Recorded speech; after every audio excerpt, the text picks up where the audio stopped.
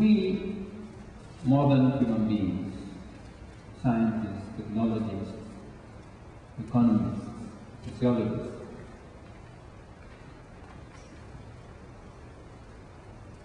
speak about what science can do, what technology can do, and so on and so forth. Sometimes people say, oh, this is a problem that uh, technology has brought to us.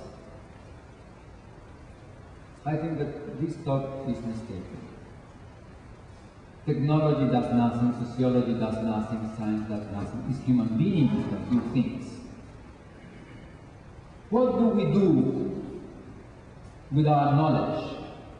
What do we do with the claims that we make about adequate action that we can perform? This is the point. I claim that the history of humanity is the history of desires. It's not the history of natural resources, it's not the history of material opportunities, it's not the history of, a material world that is there. It's the history of desires. Something is a resource if I want it. If I don't want it, it's not a resource. Something is something that I need to the extent that I want it.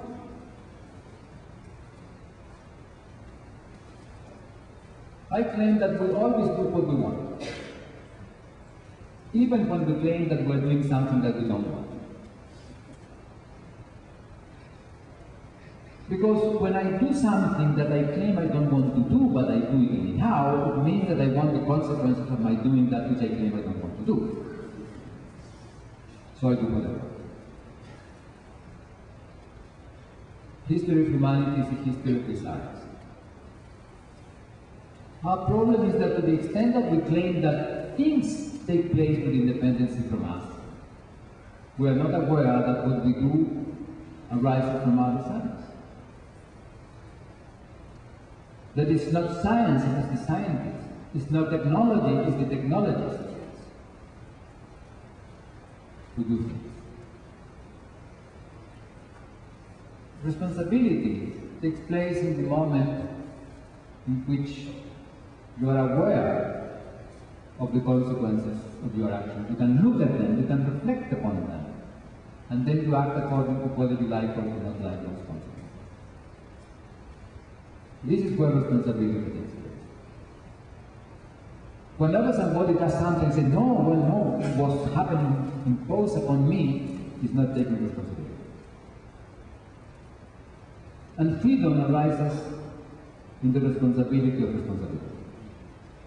In the moment in which you are awareness of doing something because you want it, you put it there for yourself to contemplate in the domain of your desires.